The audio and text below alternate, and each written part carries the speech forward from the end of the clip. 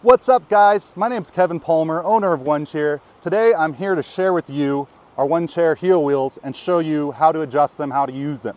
So when you get them out of the box, what you're gonna get is two heel wheels that are fully adjusted to their skinniest position. Also in the box, you'll have an Allen wrench to adjust it all. I believe it's four millimeter if you lose it, but don't quote me on that. And a bag to carry it all in, just a little sack. So to make this work, I'm gonna go ahead and pop my shoe off real quick. And what you wanna do is loosen the two top bolts.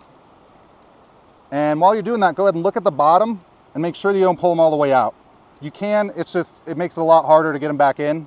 Once they're loose, kind of twist it as you pull in or out and you'll be able to get that adjustability. That adjustability is what you're looking for in order to make it fit your specific shoe. Now I wear a size 12 and a half and I have no problem with any of my shoes. But if you wear anything bigger than that, you might want to, you might have to use specifically a skate shoe just because they're a little bit skinnier at the heel than like running shoes or hiking shoes. Um, if you're thinking of going off road a lot, I highly suggest considering something with some ankle support uh, just to help reduce the risk of breaking your ankle if you were to catch a foot on road. I don't think that's a very likely condition. So anyways, now I've got these tightened up and I've got them nice and snugged up. I'm gonna pull the shoe out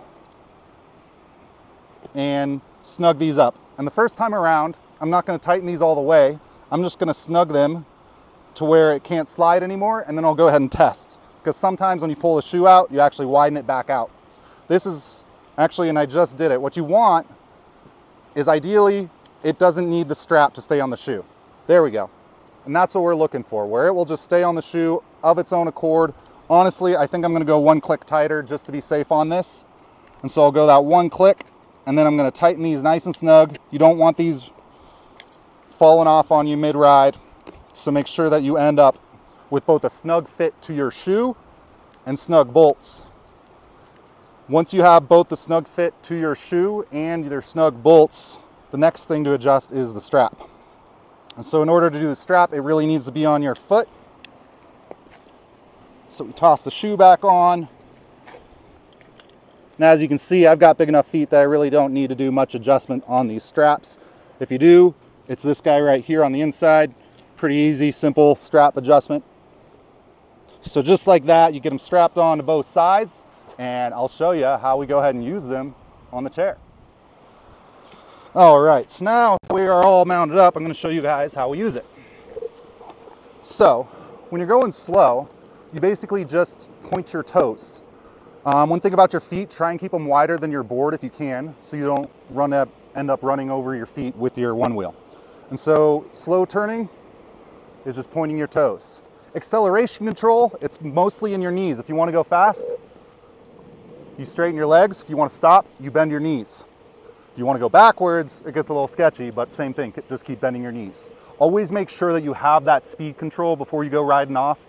Um, if you don't have the right chair and you're too high, you won't have brakes and it gets a little sketchy. So make sure that you have the ability to reverse by lifting your knees like that. So now it's just a matter of skating. When you're at low speeds, it's super simple. And when you start to uh, speed up, you just start to carve.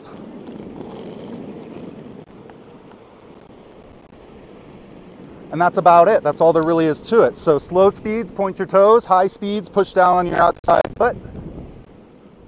And the greatest thing about it, even if you try to nosedive, you just kind of ride out of it. So that's my favorite thing about it right there is just the safety factor. If I just did that while I was standing on a Onewheel, I'd be sitting on the ground right here. Roxy, what do you think? You want to go for a ride? Come on, let's go. Let's load up. Load up. Let's go. All right. Well, I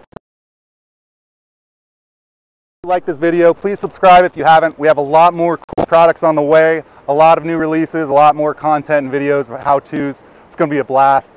Don't forget to like and subscribe. I'll see you next time. This is Kevin Palmer for OneChair.